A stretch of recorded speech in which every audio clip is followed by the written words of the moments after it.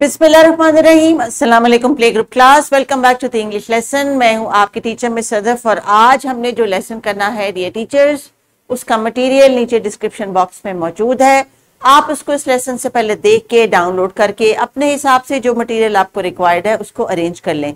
तो प्यारे बच्चों, आपको टीचर की टेबल के ऊपर अगर कुछ ऐसी चीज़ें नज़र आ रही हैं, जिनके नाम आपको आते हैं और उनकी सेम साउंड है तो इसका क्या मतलब है कि आज हम कर रहे हैं, जिस साउंड का डे नंबर टू आपने बताना है कि इन चीज़ों के नामों में नाम के शुरू में कौन सी आवाज़ आ रही है? तो इससे पहले प्रीवियस लेसन में हम क्या कर रहे थे?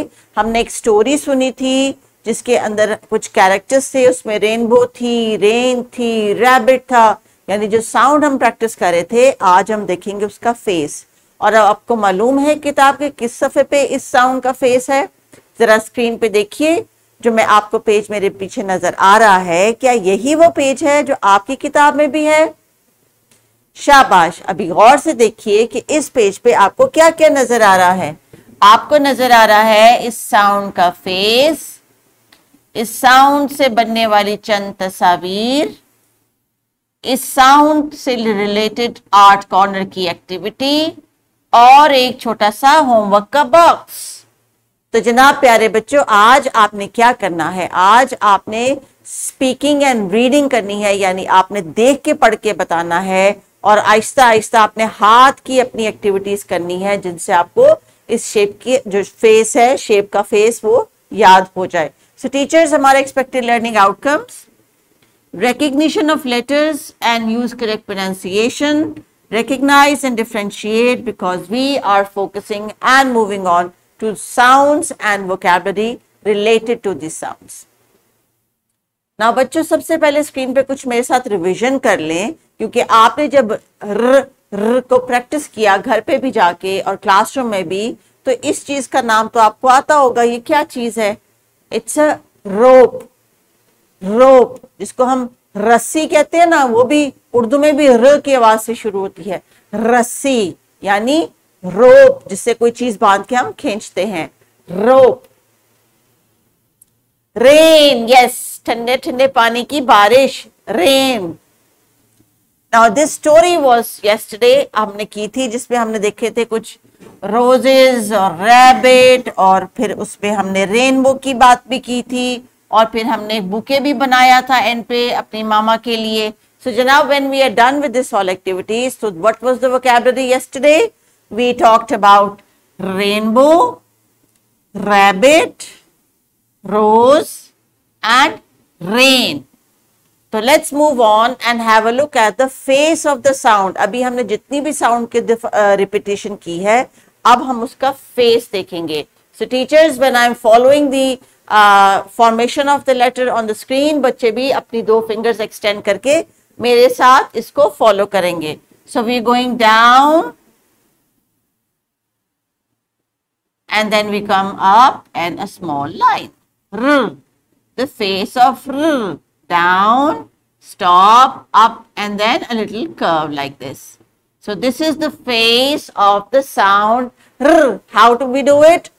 Extend your arms in the air, go down, stop, going up and then take a little turn. Yes, this is the face of the sound r.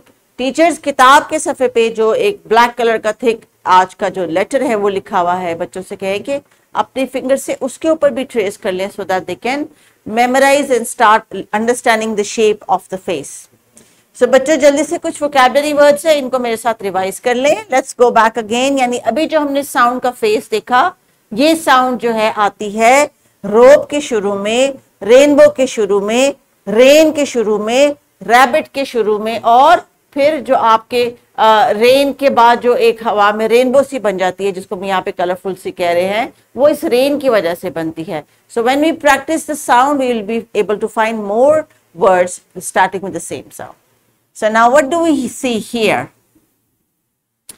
You know, the second day is for a little poem also. So teachers बच्चों को uh, आपने इस poem को classroom action के साथ करवाना है या after the class. And I remember if you have hopped like a rabbit in the uh, a rabbit in the playground, वो भी आपने जो है अपने फ्रेंड्स के साथ शेयर करना है कि मैंने घर जाके भी ऐसे रैबिट हॉप्स की हैं so the poem goes R was a rabbit who had a bad habit of eating flowers and in gardens and bowers. It is just a small poem teaches about rabbits जिसमें एक rabbit है और उसकी एक bad habit है कि वो जाके garden से flowers और bowers को खाता है.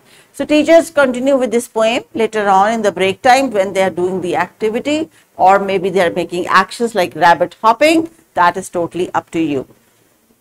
so let's wrap up the task for today मेरी तरफ़ से आपके लिए जो आज इंस्ट्रक्शंस थी, जो एक्टिविटीज़ थी, उसमें क्या था बच्चों? आपने आज चूँकि स्पीकिंग और रीडिंग करनी है तो स्पीकिंग के लिए आपने स्क्रीन से बहुत सारी चीज़ों का आइडिया लिया हेल्प ली, लेकिन रीडिंग के लिए टीचर हो सकता है आपको कुछ न्यूज़पेपर की या मैगजीन की कटिंग से जिसमें आज आप, आज वाली साउंड का फेस आइडेंटिफाई करेंगे, यानी सर्कल करेंगे।